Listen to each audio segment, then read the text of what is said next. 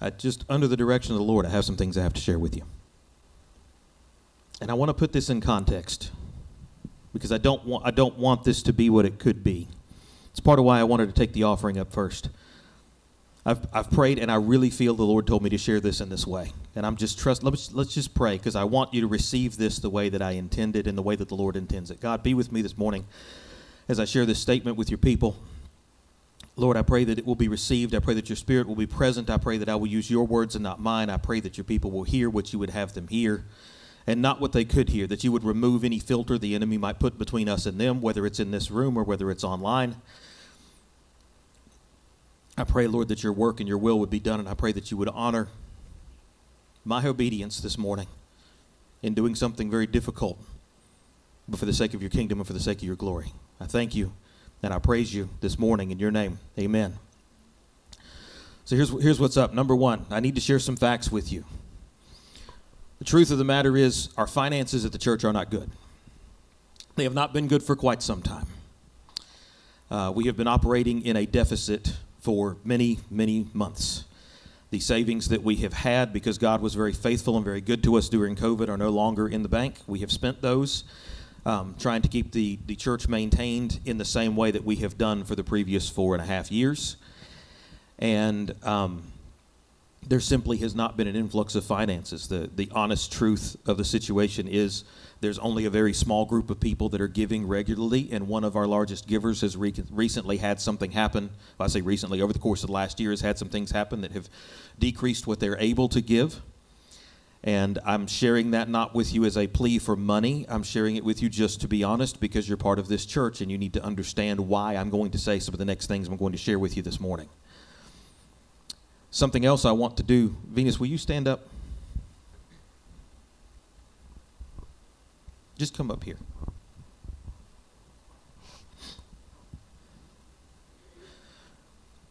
All the way up here. This is your church clerk. This lady is my friend, even when we, she is not our church clerk. She's been my friend for a very long time.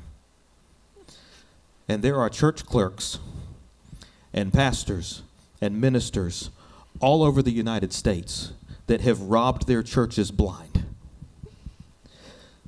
This lady has worked extra jobs and extra hours, and she has even many on many occasions not even told me she was doing it and earned extra money and simply put it in the church to keep it going. There are people everywhere who are stealing from the church because they see it as a place where there's tons of finances and you've got a church clerk that has quietly behind the scenes sacrificed in ways you will never understand and that I didn't even fully myself understand until the last 30 days because she believes in what God is doing here and she believes in the church and she has floated the difference many many times. And I want to praise her and thank her and celebrate her in front of all of you.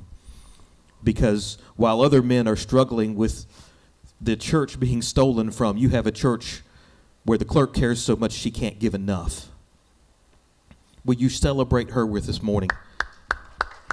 I celebrate you and I appreciate you and I love you.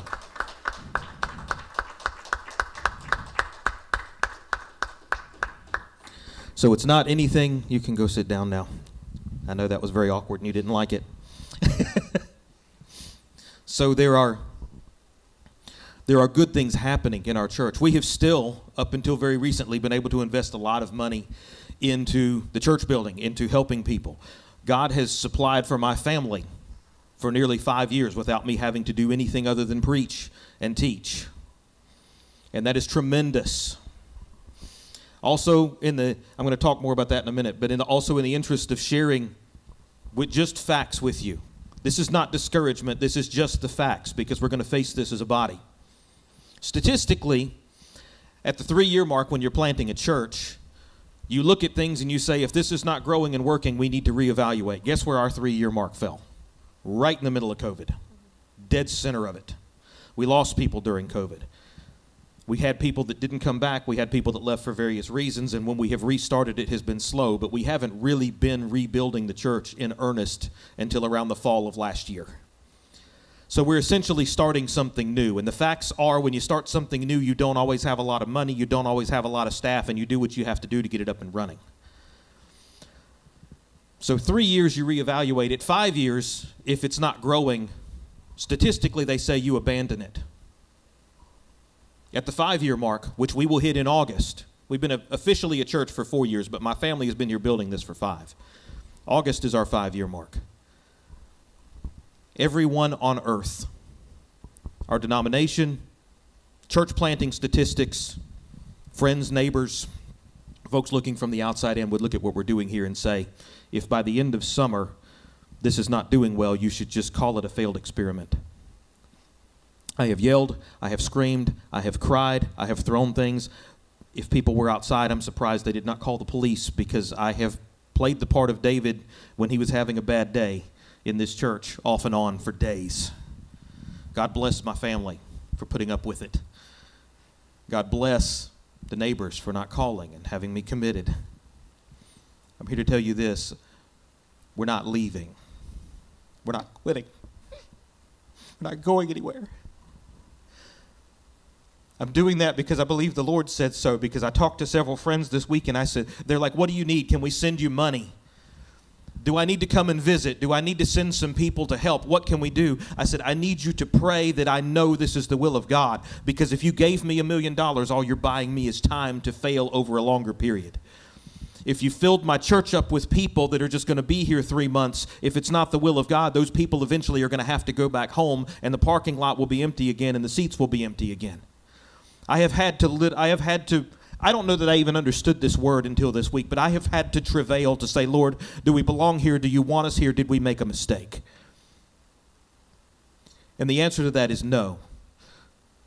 We're not going to call it dead in five years, and we're going to stand here in the face of everything that everybody in the world is telling me we should do right now, except for the people that love the Lord and love me.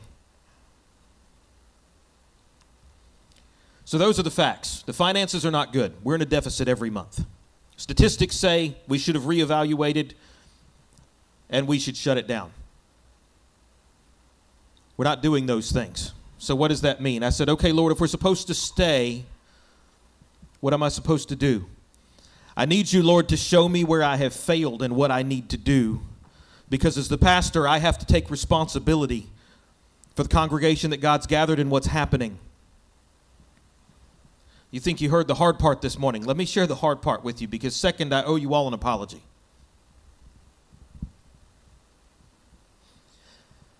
I owe you all an apology for this. My own pride. I've shared with you bits and pieces of my own history and I've shared it in different sorts of ways depending on the conversation. But I came out of a background where people did church a certain kind of way, and a lot of what I have done here has just been an arrogance and a refusal to do anything I've ever seen done before because I did not want to build the kind of church that I came out of that hurt me, that treated me poorly, and hurt so many other people. And there are times when I could have probably taken some of the things I learned in those other places and applied them here in a way that was productive. And I did not because I did something that I've even preached from this platform. As a matter of fact, if I remember, I preached it from the floor that Sunday.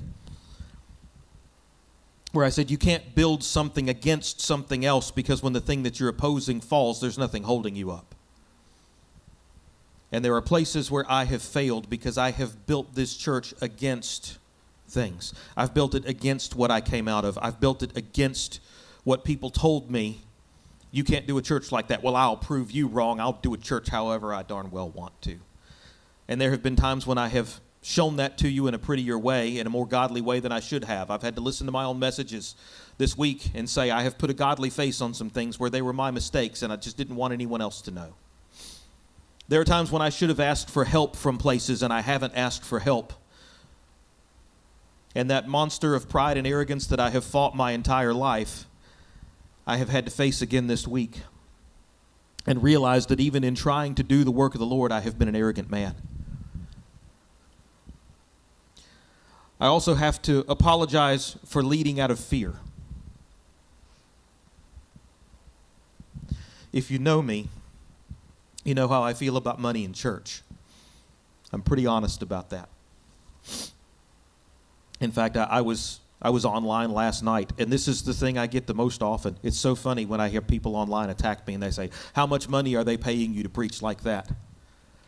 How much money are you making declaring those things? I bet you wouldn't say those things if you were doing it for free. You preachers are just in it for the money. and I know I'm standing here in a church where they don't see the other side of the camera, but there have been Sunday mornings when there were two or three people sitting in this room apart from me. And in coming up on five years, I have not taken a salaried paycheck from this church ever. There's a piece of pride that I've had to let die where that is concerned because the Lord says that's part of this issue. But the other thing that drives me batty, the reason I'm so funny about money is because I have seen money done so poorly in so many churches, in other church plants, in other places. I told you we're celebrating our clerk because she's not stealing, she's going above and beyond to make it work. I've seen pastors rob their church blind. I've been in churches where I watched the pastors rob their church blind. I've been in churches where I have watched pastors who were sincere and loved the Lord and wanted nothing more than to build a great church that was a, a, a, monument to the glory of the God that I serve. And I watched them grow and progress and be eaten up with the cancer of greed to the point that they felt entitled to everything the church gave them. And they were the richest person in the room and felt that they deserved it. I watched that firsthand happen in one church I was in over the course of eight years. And I swore when I left there I would never let that happen to me. But I have become afraid of being that. And I have left all of the finances on your clerk because I was scared of what people would say or what would happen or what might happen to me. And I can't lead you out of a place of fear. So this morning I apologize. And I'm asking you to forgive me for my pride and my arrogance and the places where I have led you out of fear rather than out of faith. This morning, I'm asking sincerely to those of you that are here, and if you're online, whatever time you're watching this, I'm asking, will you forgive me as your pastor where I'm a man and have failed?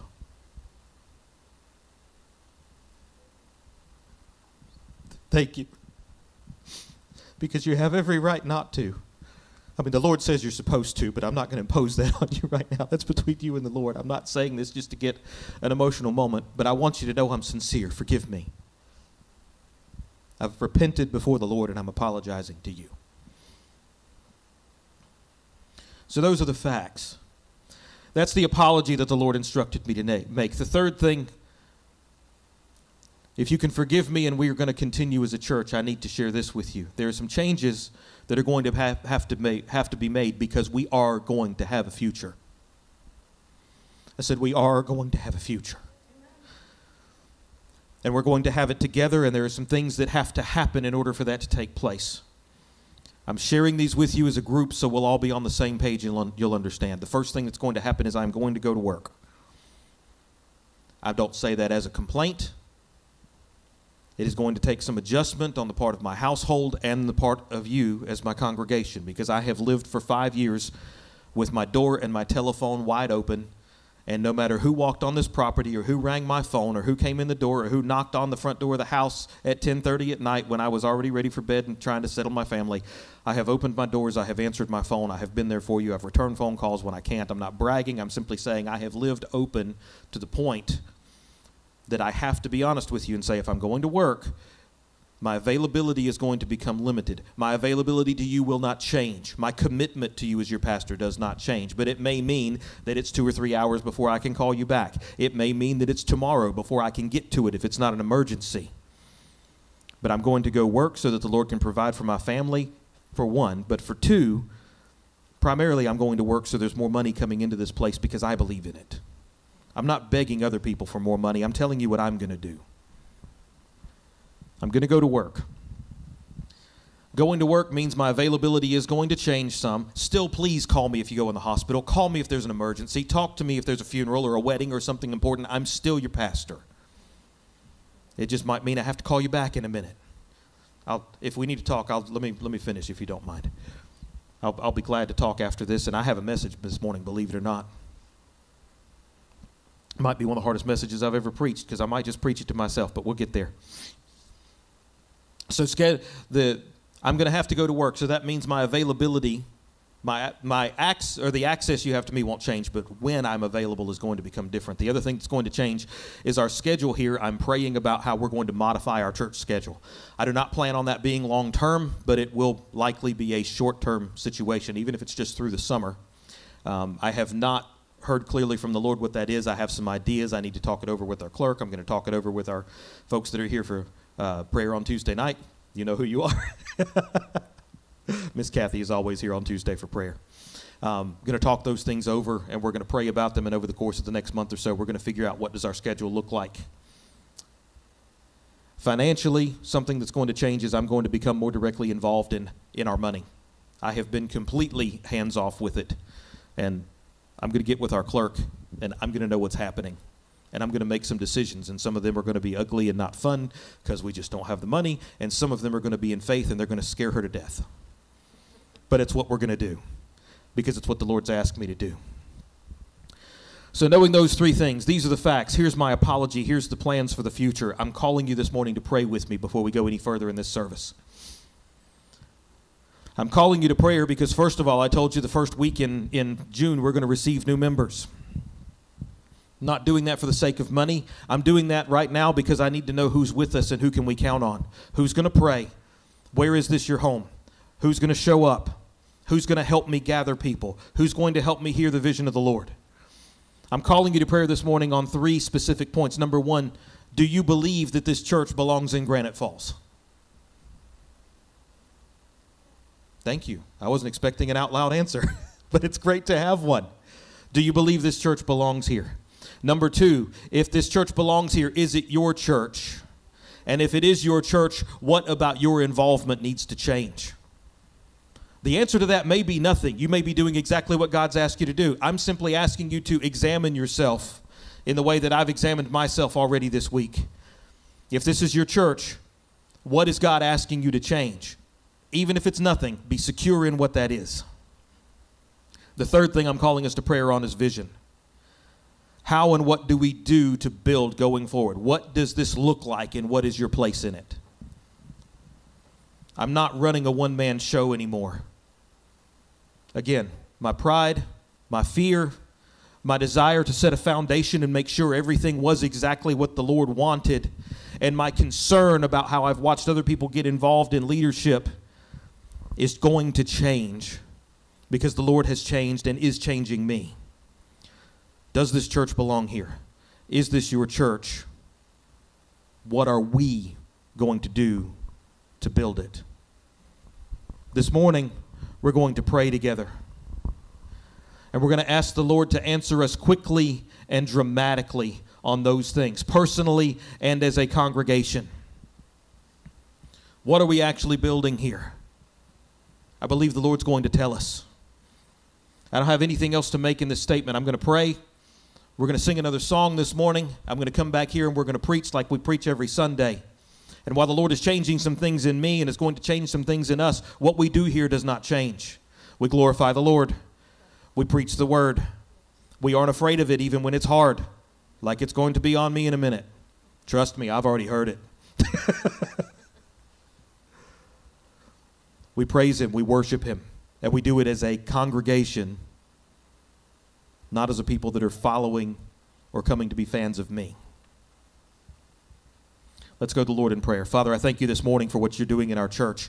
I thank you that you've given us four and a half good years. I thank you, Lord, that you've been faithful even when it was difficult. I thank you, Father, that even in this hard time, you have spoken clearly and directly, and that you have a plan and a purpose for this church and the people connected to it. You have a place that you want us to go. You have people that you want us to reach. There are ministries that you want us to launch, and there's a community that desperately needs you, or you would not have sent us. Father, this morning I stand here not praying just for my family, not praying just for myself, and not praying just out of what's the right thing to say, but praying on behalf of your people who call this home. Lord, reveal to us what this church is in this community. Reveal to us individually where we belong in building that church and reveal to us, Lord, what about us needs to change so that we can function in the way that you have called us to function. This is a call not, not just to rally around a church, but a call to rally around our purpose as individuals and as people connected to a body. This morning, I pray for your spirit to convict where conviction needs to happen. I pray for your spirit to encourage where encouragement needs to happen. And I pray for clarity of vision and direction in our own lives and in our connection to this house so that we can connect it properly to the community that you intend it to be a vital part of. We love you, Lord, and we're grateful for you this morning. I'm looking forward to what you're going to do in this service. I thank you for this time. I thank you for your faithfulness and your goodness. I pray you'll be with us as we continue this morning. In your name we pray. Amen.